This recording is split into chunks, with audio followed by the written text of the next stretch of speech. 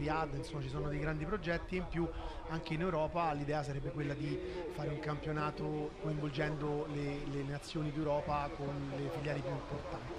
Nel frattempo la gara è partita? Eh sì, partenza valida perché Sì, come sì, vi sì. dicevamo non c'è giro di riscaldamento o di allineamento ma i piloti eh, sono già pronti eh, per il via quindi andiamo a vedere eh, come eh, andranno a delinearsi le posizioni con eh, eh, subito la bagarre per le prime posizioni con Marengo che è partito bene dalla eh, seconda posizione in uh, Eh, gara 2 gara due nello smart è tosta, eh, diciamo. che sportellate come giustamente nel turismo eh, vediamo ecco che spuntano eh, con, oh, abbiamo un altro contatto. E qui attenzione un testa coda qui Di Capra, Capra che si è girato per un contatto con Fulvio Ferri, e vedo, rischio- e c'è una macchina con un... che Silvia Sellani, Silvia Sellani si è gira. girata e questo è Ghirelli che è rimasto coinvolto nell'incidente. Ma mi dispiace molto.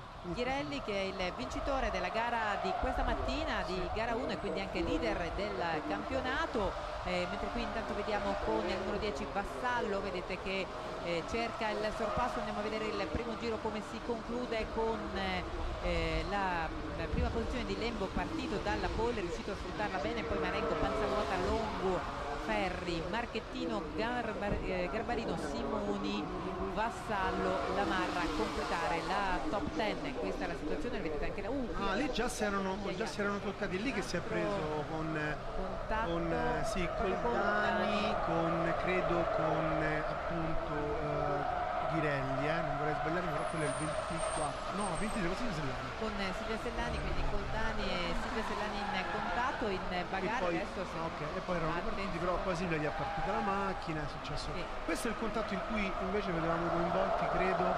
Ecco, qui si è girato solo a quanto pare. Eh sì, qui abbiamo avuto eh, Ghirelli, vedete che è andato a finire sulla collinetta, però adesso Un altro fuori qui lì. siamo di nuovo sul live e invece qui abbiamo un- un'uscita con